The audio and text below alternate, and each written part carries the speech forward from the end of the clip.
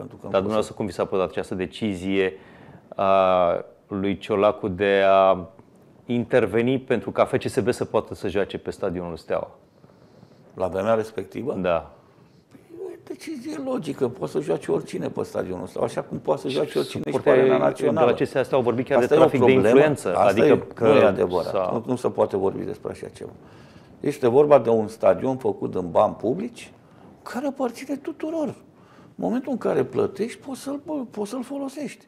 Acum, știu eu, nu vreau să intru în... uh, Trebuie să fie mult mai înțelegători cei de la Steaua, pentru că nimeni n-a donat bani să facem acest stadion. Am plătit taxe și tu și eu, și Ciolacu, și Burleanu, și cei de la FCSB, și cei de la CSA. Toți am plătit taxe pentru construirea acelui stadion. Mai devreme ați adus aminte de momentele în care, tă, bine, mult spus eram împreună, dar uh, aveam și eu rolușorul meu acolo în, uh, în Ghencea. Și uh, acum avem un nou stadion uh, Steaua în Ghencea. Dumneavoastră în Ghencea ați fost uh, campion cu, cu Steaua ca antrenor. Și uh, aș vrea să remarc uh, reacția pe care au avut-o unii steliști care au avut uh, ocazia acum să, să intre pe noul stadion Steaua. Mihai Stoica este un astfel de exemplu și alți, uh, alți astfel de uh, oameni care spun că n-au mai regăsit uh, pe stadionul Steaua uh, trăirea sau sentimentul pe care îl aveau uh, pe vechiul stadion uh, Steaua, acolo unde și dumneavoastră ați fost În campion. primul rând, se datorează acestui conflict continuu care există între cele două cluburi. Care mie mi se pare puțin artificial. În sfârșit, asta este părerea mea. N-ai cum să te duci într-un loc în care uh, deja este o stare conflictuală între cei care continuă cu CSA Steaua și cei care au fost uh, FCSB, de, uh, Steaua și au fost deposedați până lege, nu știu care e. Eu nu sunt, uh, știu eu, un jurist ca să mă pricep la aceste treburi. No- În primul rând acolo vine sta- starea asta de, uh, hai, cum să-i spunem, da, fietate când te duci acolo, că nu, nu te simți Um, chiar, De înstrăinare, probabil. nu te știu. simți chiar la tine Da, acasă, și nu, da, da, nu simți, uh, nu știu, căldura și un anumit fior pe care îl trăiai castelist atunci când mergeai în templu, cum a fost supranumit. Păi, cum, cum să-l simți dacă te-ai separat, dacă te-ai divorțat de soție, te întâlnești din nou în aceeași casă cu ea? Te simți ca înainte când erai în relații bune cu, cu soția ta? Sunt parte din aceeași familie, de fapt e un divorț. De fapt e un divorț aici. Dacă o luăm să facem o paralelă între, între mediul fotbalistic și mediul familiar, mi se pare un divorț. Soț, soție, care acum nu știu care o fi soțul, care o fi soția. nu știu. Da. Să nu dau, asta nu vreau să le dezvolt prea, foarte, foarte mult, dar eu cred că până la urmă tot amiabil se va rezolva treaba asta.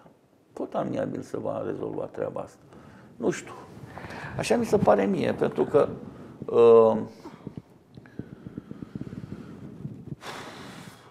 forța nu poate să vină decât uh, din sufletul oamenilor. Când vezi că la FCSB vin o grămadă de suporteri, când vezi că pe arena națională, nu vorbim că au fost de trei ori în Ghencea, parcă au fost, de trei ori au Cam fost. așa ceva, da. De trei ori au fost în Ghencea. Și când vezi că la CSA vin altă parte a suportorilor, care de fapt au iubit aceeași echipă înainte. Echipa pe care ați antrenat-o dumneavoastră, de exemplu. Nu numai și echipa pe care n-am mai antrenat-o eu, ci alții în urma mea, pentru că uh, până la, până la uh, acest uh, conflict juridic, să-i spunem uh, în felul ăsta, eu au fost împreună la aceeași echipă, susținând aceeași echipă. Nu? Da. Pentru că spiritul, spiritul celor din tribuna CSA-ului vine din spiritul Stelei, care a fost campioană ani și ani de zile. Nu mă refer la perioada mea, dar după mine au mai fost, uh, cine? Regenkampf, erau împreună atunci. Sigur.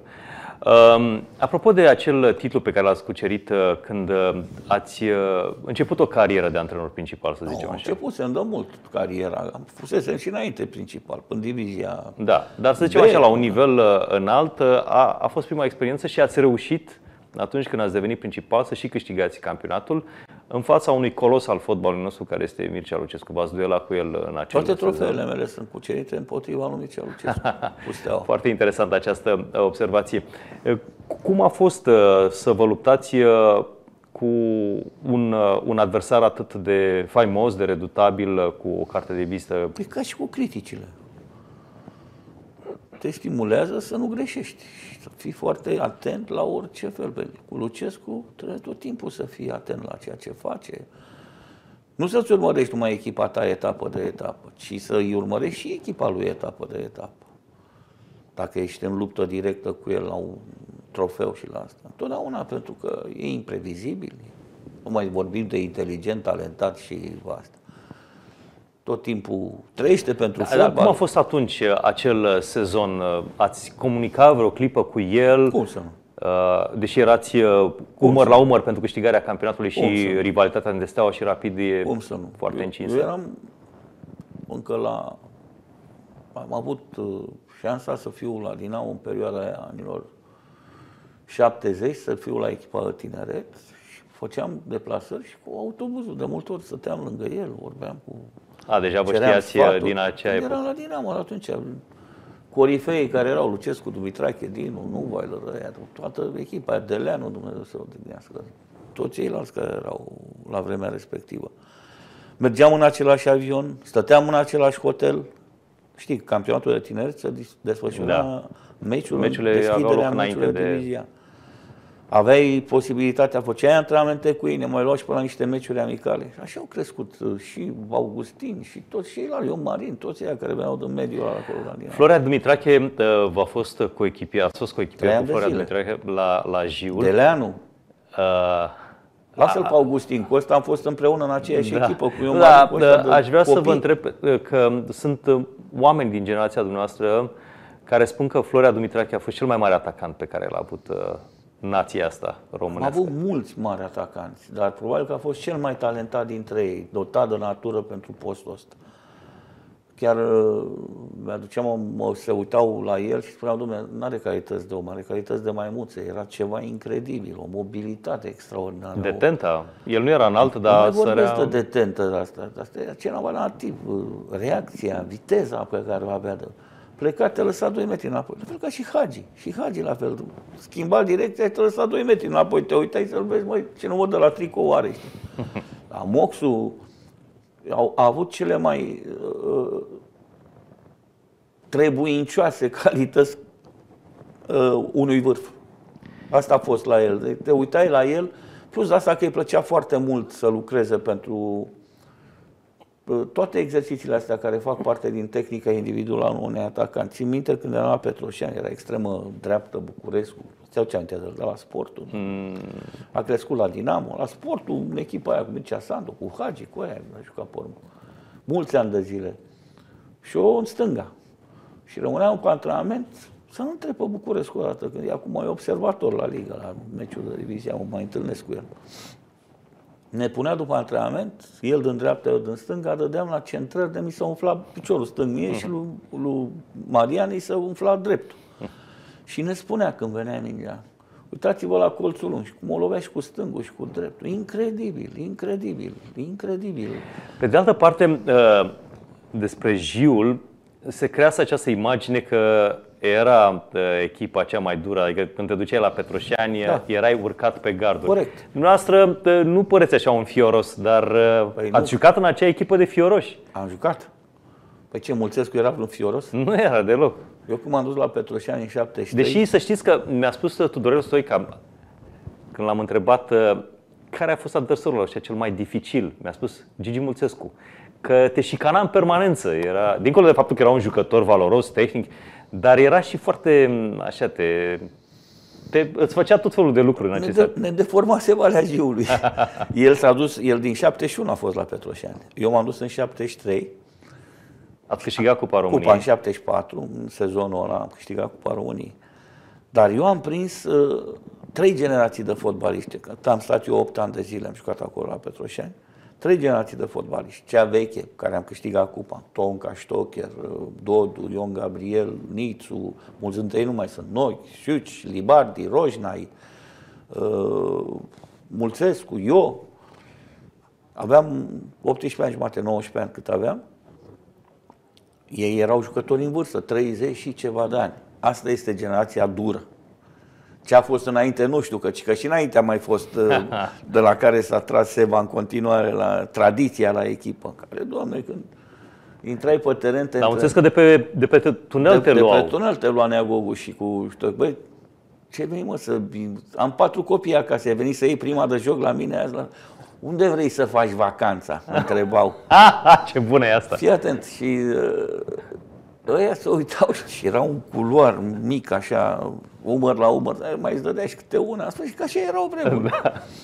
Băi, tu unde vrei mă să faci vacanța? Îl întreba pe Marcel Răducan.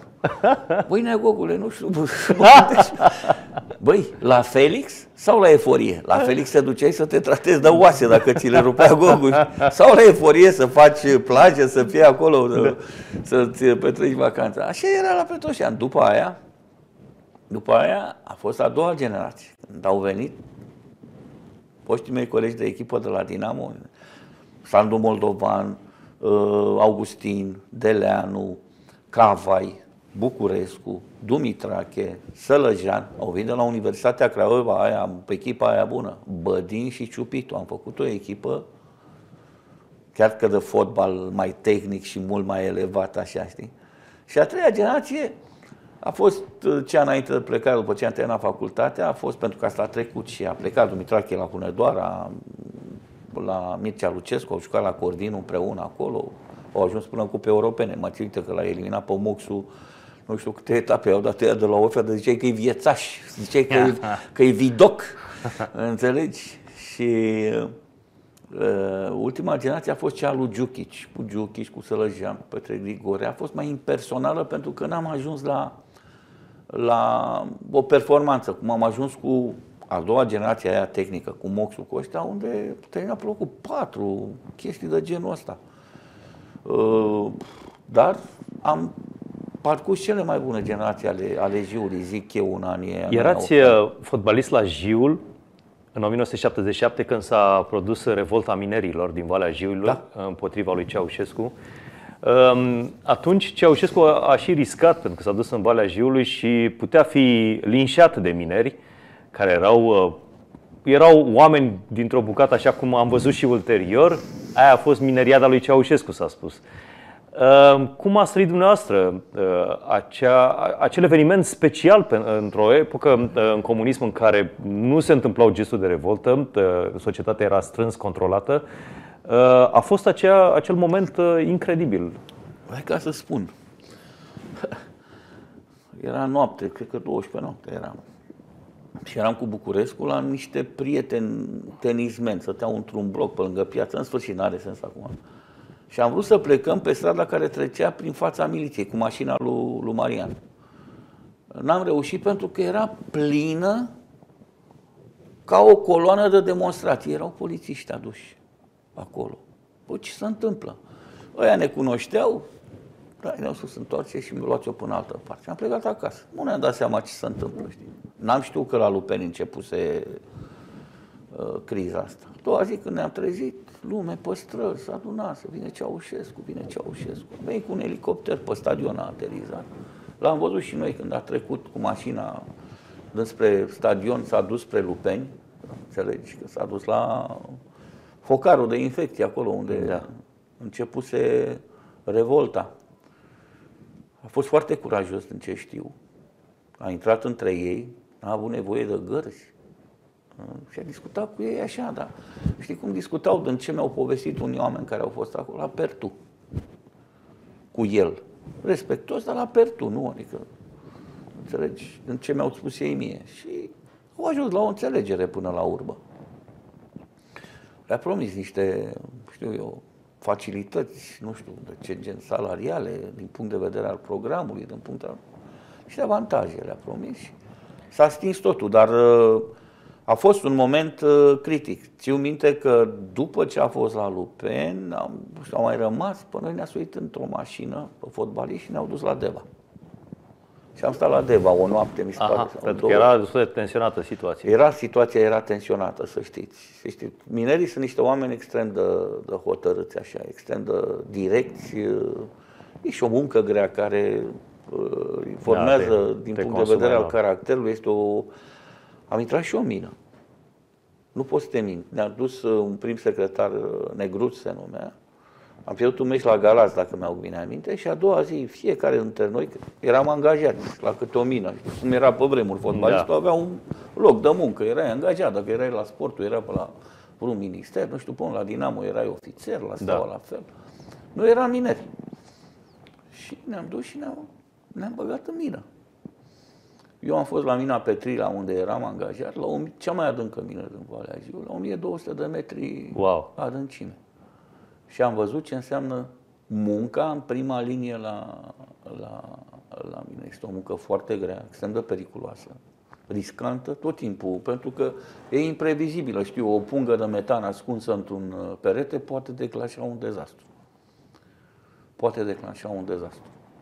Asta este.